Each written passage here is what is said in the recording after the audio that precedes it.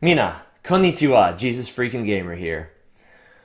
Whew, here we go. Um, this message is in regards to the hypocrisy, and as you've seen in the title, you probably have a pretty good idea what that hypocrisy is. It has to do with me as a Christian and me as an otaku, Japanophile, weeaboo, whatever you want to call it. It's in regards to my eroge.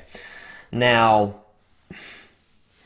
I'm like, I guess I, I guess I'll just hop right into it. There's like so many thoughts buzzing around in my head, and uh, hit over 30 subscribers. That's awesome. Going to be doing um, a little thank you video on that soon. Finally trimmed off the beard. So glad that that's gone. I'm just not a beard kind of guy. I looked like Mark Senpai, and that was awesome. But I just I'm not a beard kind of person. But I need a little shave up here too. I may or may not do that soon. We'll we'll see. Um, not committing to that at all, and glad to be home from camp. It's nice to be home from camp, but because I'm a homebody and I love the internet, and as I mentioned in a few of the videos, the internet there sucked. But man, some really, really good stuff happened there. One of those things being a conviction on my life about the eroge that I have read, slash watched, slash played. Um, for those who are not in the know, an eroge is a visual novel. Now that um, eroge is E-R-O-G-E again. You'll see it in the title. It's pronounced eroge, and it means erotic game. Essentially, what those end up being, it's a type of visual novel. Well, a lot of visual novels are eroges. From what I've personally seen, I don't have like a ton of experience. Um, been playing them for a few years, um, not like a really, really long time, but I guess just because I'm an otaku, it kind of when I did experience them, I was just like, wow, this is really cool. I really, really like this. So I played um, just you know tons of different games out there. Uh, Clannad I like and Clannad I will keep as I will reasons I will get into shortly. But it's it's a, game where like essentially you it's a you have your background like yeah like that where the camera goes totally out of focus. Um, but you have your background, a background picture, and then you'll have whatever character you're talking to. They're usually right there on the screen with you. Um, a lot of them are voice acted. They have music soundtracks. There are sound effects. A lot of the stories are really really good, but they have sexual content in them, pornographic content in them. And for a really long time, I was just like, well, whatever. And you know, I love the stories. They're a lot of fun. Quite frankly, I like the I like my animated boobies as well. Those are also quite good. Um, and as I mentioned in one or two other videos, I don't think it was a ton, but yeah, porn's a problem. Has been for me for a very, very, very, very, very, very, very, very long time. And as most of you guys know, Christians shouldn't be looking at porn. Now, a lot of people are going to say, you're a dude. And by the way, I am a single guy on top of that, so I'm not mentally cheating on anyone. So a lot of people would be like, well, even if you're married, you know, variety, spice it up, get a little something different, you know, wet your whistle, um, and plenty of other much more horrible things. Um, I've probably said much worse on some of my video game videos. I won't go into all of that here. Because on preaching videos, I have a commitment to not use any profanity because I want Christians and non Christians alike to enjoy these videos. Whereas the video game videos, I'm just kind of like, eh, if you're watching most video gamers on YouTube, you probably won't mind if I cuss a little bit there. But some people may not prefer that, especially some Christians out there. If you want to listen to a message, you don't want any profanity interlaced. So, on behalf of those Christians, I don't use that profanity in these messages. So, I could use several other analogies there. I simply won't. I'm going to cut it off there. Also, not going to mention any like any games whatsoever. I played a lot. Let's just leave it at that. I played a lot of them. And yes, sometimes um, lustful thoughts would be involved there. Um, most guys don't watch porn for the great acting. And it was something I did for a while, and that kind of goes into the hypocrisy that I was talking about. And um, one of the last messages that I preached, very recent from here, just want to have a pure heart. And that is, uh, it's a song I heard in a church a long time ago, and I was like, you know, that's just that's a good tagline for what's been going on. Most guys would think, you know, hey, you're a Christian, um, so that's probably a bad thing. And some of you may be like, yeah, I forgot to set my alarm again. I'm sorry. I never remember to set my freaking timer. um, you know, you're a guy and you're a single guy. You're not even committed. Even if you are committed, who cares? It's porn. You like to masturbate. You like you like boobs. You like you like um genitalia. Who cares? What's the big deal? As a Christian, it actually does matter. Most Christians watching this will be like, yeah, that's bad, that's sinful, you should stop that. In fact, if you're addicted, why are you even trying to do a preaching channel on YouTube? I'll get to that in a minute. To address the people who are like, who cares? It's not important. It doesn't it doesn't matter. Well, I would say as a Christian, my fellow Christians are right. It does matter because my God, Jesus said in Matthew chapter 5, verse 27, You have heard that it was said to those of old, You shall not commit adultery. Now, by the way, adultery is actually in the Ten Commandments. Thou shalt not commit adultery. And that is, of course, you know, you're married and you have sex with someone other than your spouse. And that was that's in the Ten Commandments, so that's like one of the big no-nos. And by the way, yes, it was punishable by death in the Old Testament. It was a very big deal. Um, and just as an, a total aside, this is probably worth a sermon at some point in the future. Like I say about many other things, I'll get to it at some point in the future. I would argue adultery is actually worse than homosexuality. Homosexuality is a sin, as I've said in a few previous videos, and I will say that unashamedly. I'll completely own up to that. As a Christian, it's my duty to tell the truth in that matter.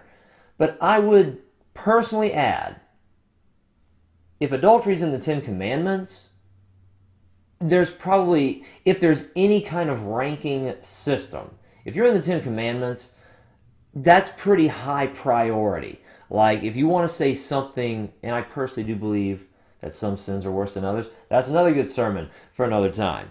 I do believe, based on some verses that I've read in the Bible, whereas all sin is bad and all, and all people are sinners, some sins are worse than others. And I do believe that adultery is the worst sexual sin, not only because it's in the Ten Commandments, but also because it is the breach of a covenant, the marriage covenant, which is a very, very, very, very, very important covenant.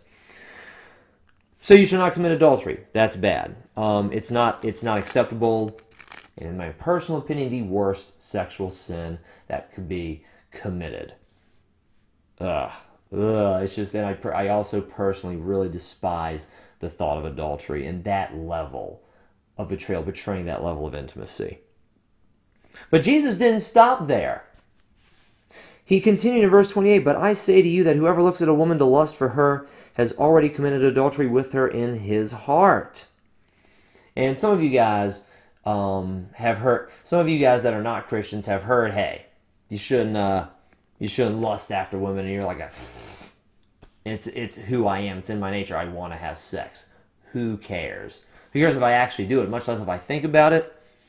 As a Christian, I do care because the Bible says essentially yeah, adultery is bad, but if you look at a woman with lust in your heart, you've committed adultery with her in your heart. Another quick aside I don't believe that lust in the heart equals actually acting out on it. Actually, lusting after a girl in my mind does not equal having sex with her. The two are very different things. And my, the, the simplest argument there would be look at the consequences. The consequences are radically different there than if I sit in my room, and masturbate to some chick or actually go out and have sex with her.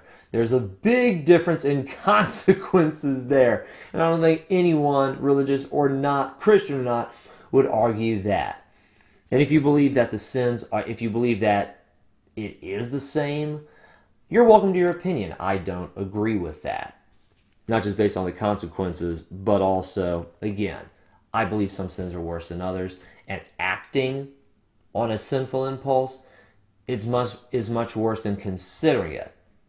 Considering it is still bad. It's not good. It's still sinful, but it is not the same thing, and it is not as bad as actually doing it. Sins of the heart do not equal sins of action, but it's still a sin. And then he goes on to say in verse 29 If your right eye causes you to sin, pluck it out and cast it from you, for it is more profitable for you that one of your members perish than for your whole body to be cast into hell. And if your right hand causes you to sin, cut it off and cast it from you. For it is more profitable for you that one of your members perish than for your whole body to be cast into hell. the eye and the hand in reference to sexual sin. Um, masturbation. I will. I'm not going to use any these messages, but I will be bluntly honest. In my opinion, Jesus really just spelled that out. You look at a girl and you masturbate your eye and your hand. I could be wrong. Maybe that's not the reference. That's what I see. when you lust after as men, well, and as women too out there for the female audiences, it's not like you girls don't have any sexual desires. Um, you see someone of the opposite sex that you're attracted to, and if you allow lust into your heart, generally you will masturbate over that person at some point. That's simply the truth of the matter. And porno- pornography is a great encourager of lust. Um, I won't get into the whole objectification of women and all those other things. Jesus said it's wrong. That's good enough for me. Quick addendum don't pluck out your eye, don't cut off your hand. Doing those things will not give you access to heaven. Only accepting Jesus Christ will give you access to heaven. Accepting his forgiveness, accepting him as your Lord and Savior, only that will get you into heaven.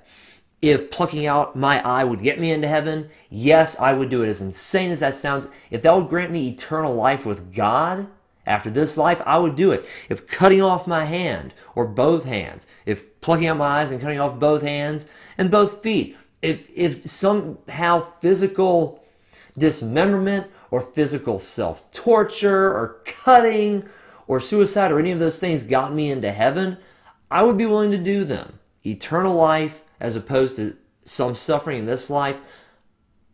And that's pretty much what Jesus was saying there. Whatever it takes to get to heaven, whatever it takes to avoid going to hell and going to heaven, do that. Do whatever it takes to go to heaven. Make sure that you lay hold of eternal life. But I'm like, yeah, there's really not a nice way to say it. Even if I chop my balls off and chop my penis off, there's no that that alone would not cure lust. And yes, that's this is an incredibly blunt sermon. Um, there will be more like it too. I won't use profanity, but I won't hesitate to say what I believe to be the truth. I won't hesitate to say just outright, here it is. Here's what I believe. Here's what I think you need here's what I think is good and important and relevant. So, yeah. If, and several Christians in the past, if you look it up historically, some of them read the verse and castrated themselves. And is in regards to lust specifically, and I believe more specifically masturbation. But chopping off my, cutting out my eyes is going to make me, I won't be able to see any more women. It won't get the things that I've already seen out of my head. Chopping off my hands, it's a hindrance to masturbation. Um, it wouldn't stop me from having actual sex if I still had my penis. And even if I plucked out both my eyes, cut off both of my hands, chopped off my penis and my balls, maybe if you, I cut off my balls, it would stop the testosterone, so there wouldn't be any more sexual desire. I hear that's not the case. I don't plan on experimenting to find out. But yeah, chopping off all of those body parts, all, both my eyes, both my hands, my balls and my penis, that wouldn't cure the heart problem of lust. It wouldn't help me. It wouldn't do the trick. Cutting off my various body parts or self mutilation will not get me into heaven, and it won't free my heart from sin either. It won't get rid of lust. That's not the cure. If it was the cure, I'd do it. If that would get me into heaven, I would do it even faster. But that's not the cure. That doesn't help. That doesn't do the trick. Only a deep devotion to Jesus and carrying your cross daily and accepting the cross in your heart, dying to yourself. That's the cure. And no, I'm not, I'm far from perfect at it. But because of uh because of this camp and just the preaching that I heard there and the spirit that was there, God really, He got on me about the eroge. And He was like, son, you know that's not acceptable. You know that's not okay. You know it's sinful. And all these years, despite, and I knew it was wrong. So all those messages about, you know, stop your sin or God will judge you, stop your sin or you're headed for destruction, stop your sin that that, you know, it, makes God angry, it brings bad things your way, God will judge you for it. God's looking at you while you do it. All those things that I said in those previous messages, so many of those things applied to me. And I just kept lusting away anyway, and I kept playing those games anyway because I I liked them and they were fun. And honestly, some of the stories were really, really darn good. In all honesty, some of the stories um, are just absolutely magnificent. Um, incredibly well written, beautiful music, and really well drawn women. And I can't justify that lust any longer. I couldn't justify to begin with, not biblically. I don't even know what was going through my mind. I think what was going through my mind was I know it's wrong and I don't care. I know God will judge me at some point, but I don't care. I'll probably give it up one day because God's going to keep on reminding me. And He reminded me very, very often this is a sin, this is a sin, this is a sin, this is a sin. I'm just like, I don't care, I don't care, go away. No, no, no, my way, my way, my way, not you, not you, not you. I, am obeying you with like 80% of my life. Let me just keep this 20% of eroge on the side and enjoy that, and let me have my fun. And that is so incredibly wrong. I didn't look up this verse. I mean, that that was the main verse for this message. So I'm just gonna I'm gonna quote another message that's in there. Uh, Google is your friend, but there is a story, a parable that Jesus told where a master of a household went off and he told the servants, Look after my household, look after my affairs. I'm going to be gone for a long time. One day I'll be back, and one day I'll settle all my affairs. Look after my house in the meantime. And the master went on a long journey. And some of the servants said, The master's away. Let's go and play. And so they started beating on the other servants, started using the master's assets, using his house for whatever they want, started doing, you know, not only beating other servants, but also just, you know, doing whatever the heck they wanted in the house. And it continued thus for a very long time. And eventually, the master of that house did come back, like he said he would. And at that time, the servants, the servants who obeyed him were rewarded the servants who disobeyed him were cast out into the outer darkness where there was weeping and gnashing of teeth. Um, and they were beaten severely. And there were other servants who they knew what was right and they knew what was wrong and they didn't necessarily they were halfway they were somewhere in the middle and yes i know i didn't quote the story exactly right google is your friend I, but I, and unfortunately, I don't know the, which gospel it is off the top of my head. I know it's one of Jesus' parables.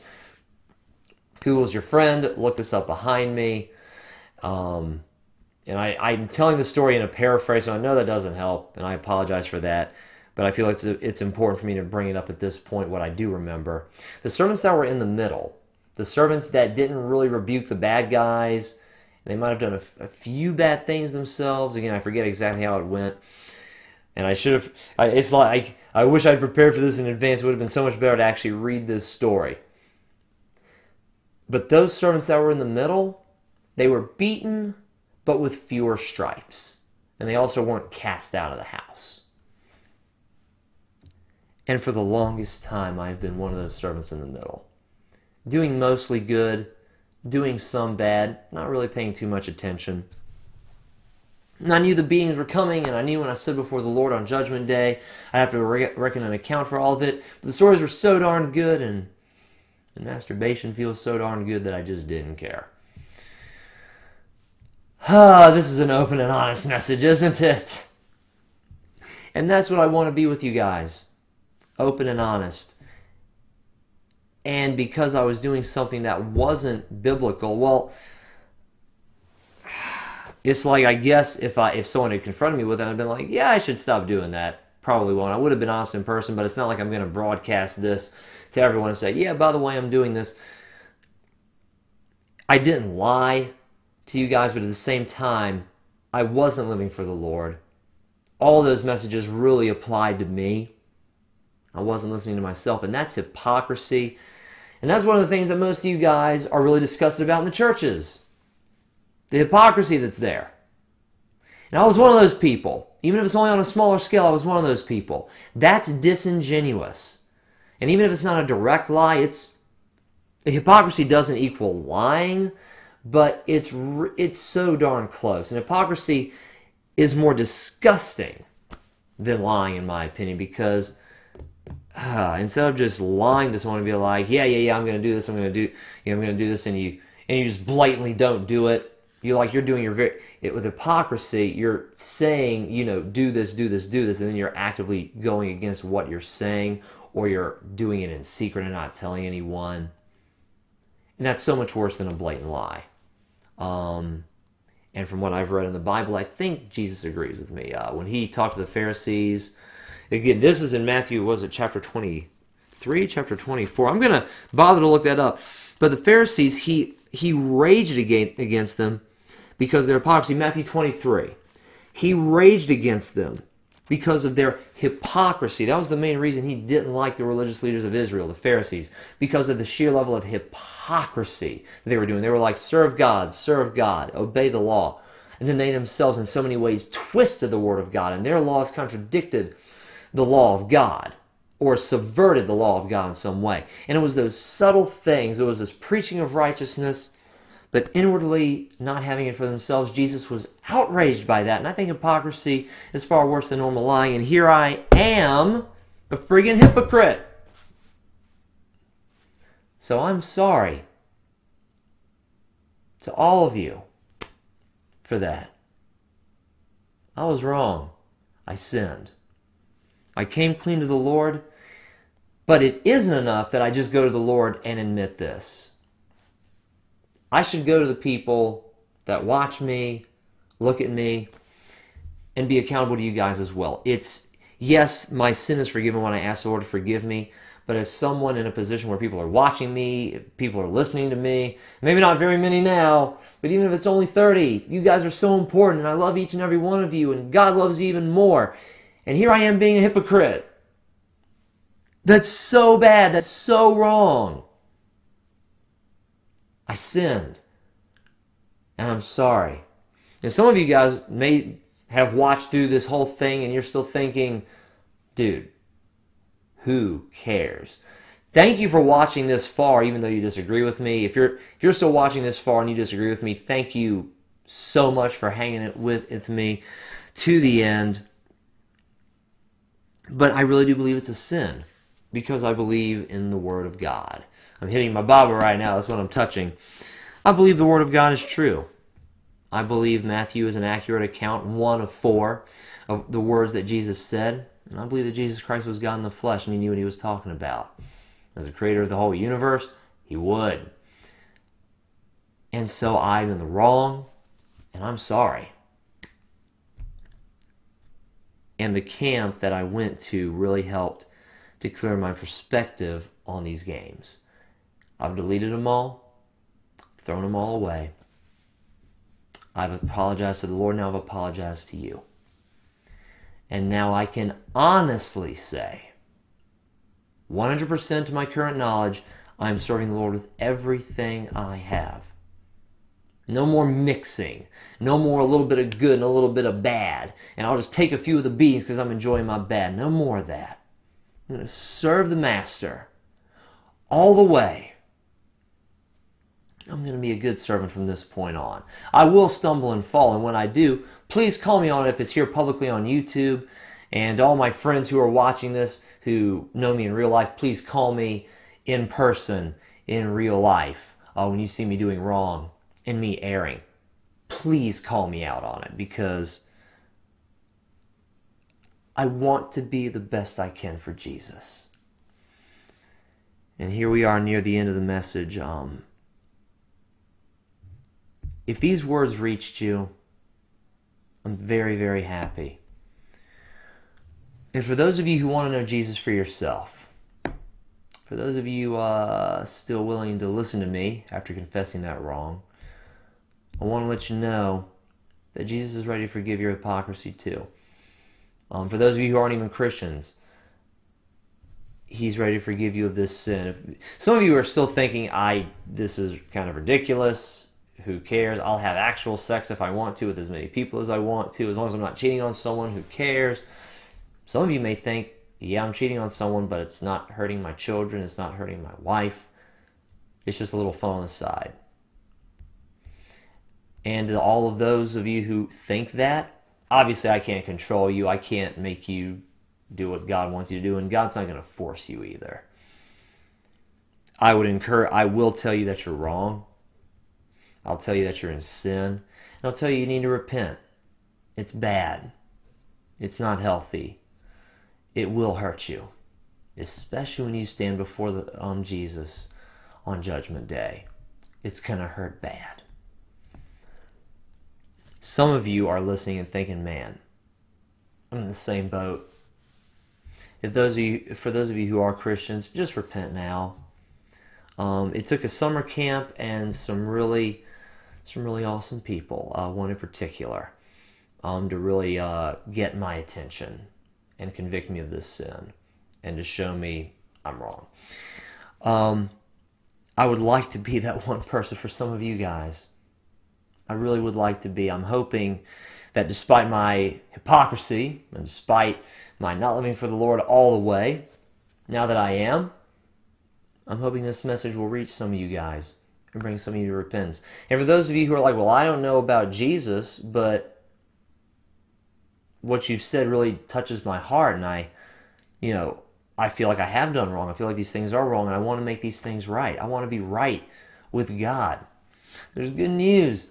You can. You can become a Christian. You can accept Jesus as your Lord and Savior. Join the crowd and just don't be a hypocrite like I was being. Serve God 100% from the beginning. Give up lust. Give up porn. Give up extramarital relationships. Give up fornication or sex outside of marriage. Give up those things. Give your life to Christ. It really is better in the long run. If you're willing to believe in Jesus and willing to believe the Word of God that I just said, that's awesome. Tell Jesus that you're sorry for your sins, that you believe He died on the cross for you, and that He rose again. And if you want a, like a model prayer to follow, pray this with me. Just say, Lord Jesus, I admit I'm a sinner. I've stumbled and I've fallen. I've done bad things. Please forgive me. I believe you died on the cross, shedding your blood to forgive me of my sins. And I believe that you rose again three days later. Please come into my heart. Please be my Lord and Savior. Please forgive me of the sins I've committed, including the sexual ones. I repent. I turn away from those things. And I purpose in my heart to not do that anymore. I'm going to live for you, Jesus. I love you. Thank you. Amen. For those of you who prayed that prayer, welcome to the family. Congratulations. I'm so glad you're a Christian along with me now. I'm so glad you're a part of the family of God. Please get a Bible, read it every day, and learn and learn how God thinks and how God feels about pretty much everything. The Bible's pretty inclusive. It covers a lot of ground. Learn to hear his voice through his word. Find other believers, other Christians who believe the same thing as you that Jesus Christ is God. He died on the cross, rose again. The Bible is the Word of God. Find other believers who believe the same thing to encourage yourselves amongst each other and make sure to pray to Him every day. A simple God, how are you? Or Jesus, I need help. Or, you know, God, I'm feeling kind of crummy. Or God, this person needs help. Something that simple, that's a prayer. Or even the God, how are you today? You know, thanks for being my Lord one more day and for loving me. Those are prayers. Those are awesome. God loves that. Shoot up a few prayers every single day and commit to these things. Make it make it a life goal. Make this a life commitment. And all I can say is it it's he has changed my life. Christianity's changed my life. He will change your life as well as you come to him. Thank you guys very much for forgiving me. And for those of you who've watched all this and you're not convinced of anything I've said, I understand. And that's okay. And if some of you feel inclined to unsubscribe from me from all of this, I would ask you, please forgive me because the same Jesus who talked about lust also talked about unforgiveness. And that's also pretty bad to the point where in the Lord's Prayer, he says, Forgive us as we forgive those who've sinned against us. So if you if you uh, aren't willing to forgive me, you're in some pretty bad sin yourself. You're in pretty bad shape yourself. So while I get it, it's bad, it's sinful, and it's wrong. And that needs to stop. But if you want to unsubscribe from me because of this, I certainly won't hold it against you. I do get it. Um, and perhaps you are willing to forgive me, but you want to distance yourself from me. Now that I really do understand. I really do get it. Um, I my hope is that this will encourage and inspire others, especially my fellow otaku who are struggling with the same thing as me. Um, Jesus is worth it, guys. He's Lord. And any sacrifice we need to make to serve him is worth it. Any. All right? So thank you guys very much for also watching this video. I love you, and God bless.